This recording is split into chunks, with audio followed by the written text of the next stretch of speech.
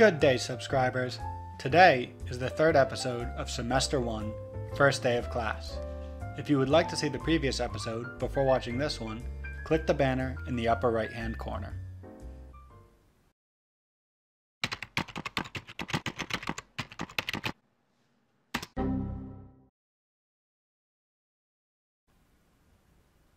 As always, I want to thank my subscribers for joining me as I go through the program.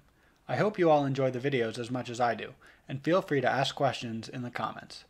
This video's comic shows the difference between some programming languages. My favorite is the last one, HTML.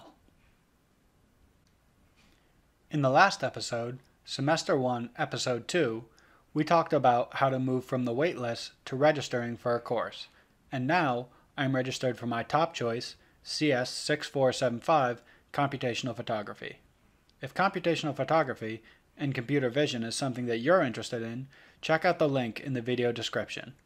As I have said before, Georgia Tech uses Udacity for the lecture part of the course, so you can follow the course of computational photography on Udacity for free.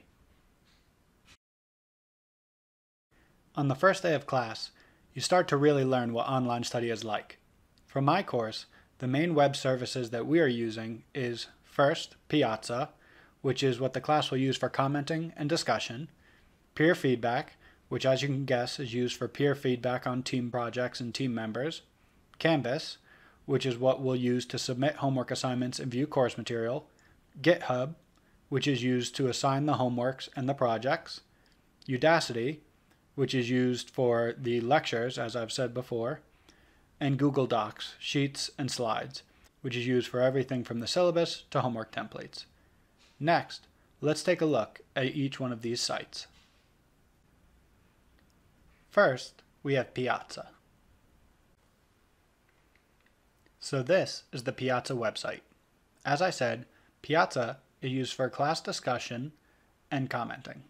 As you can see, on the left-hand side, there's a banner of different topics discussed in the class such as notebooks and student introductions and things about the course. You can use this to comment, ask questions on homeworks or anything like that, and speak to the teachers and TAs. It's a little bit overwhelming and you do receive a lot of emails on it. It's probably the hardest thing about adjusting to an online program. But little by little you start to get used to it, and after a little bit, it really becomes natural. Next, we have peer feedback.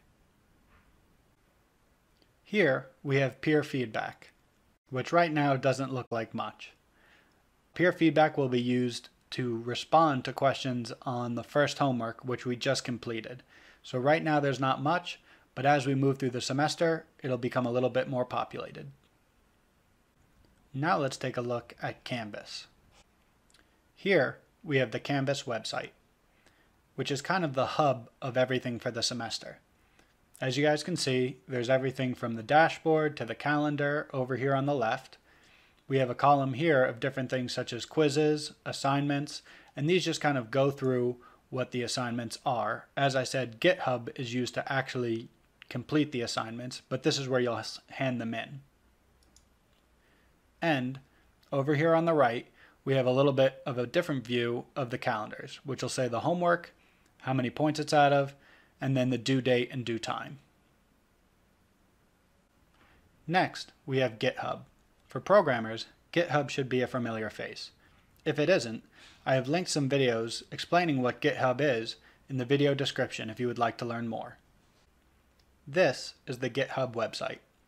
As I said, for programmers, this website should be fairly familiar. GitHub is what the OMS CS program, or at least this class, uses for assignments, lab exercises, and Bonnie, which is what they use for auto grading code. This is where you will get the assignments. So if we click on this assignments tab, it'll show us all the assignments for the semester and we can go through and look at them.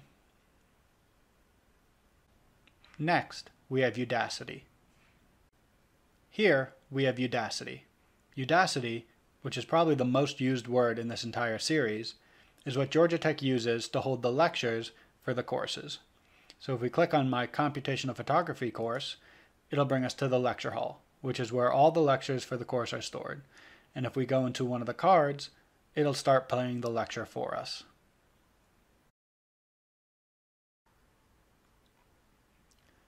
One last thing that should be noted is this OMS CS student orientation. This is a program that'll show up on your Udacity page when you enter into the program and are about to start the semester. It has great information on things like Oscar, registration, T-Square, which is now being replaced by Canvas, uh, Udacity, of course, Piazza, and it just kind of goes through some of the tools that you'll use in the masters. It was really helpful to go through, but there is still a lot to learn. So it kind of gives you a taste, and then you start to have a little bit more and a little bit more as you go through the program. But it is really good to go through before you start the program and just kind of get a little bit of a view of what you'll be working with. And lastly, we have the Google platform. And here we have the Google Sheets and also Google Slides. Here we're just looking at uh, the Google Sheets, which is what the class uses for its syllabus. So it has the syllabus, the schedule, lectures, assignments, that kind of stuff. And then here, uh, my class uses Google Slides to give the templates for homework assignments. So this is the first homework assignment that I filled out and submitted, and uh, that's what they'll use for the rest of the program. Now, let's take a quick look at some important dates. We have got our time ticket and signed up for classes, had our first day, and paid tuition. Next, we will start to move into the semester, with January 21st being a nice day off. Thank you all for watching. I hope you all enjoyed the video and were able to learn something. If you have any questions or video requests, let me know in the comments. Thanks, and subscribe.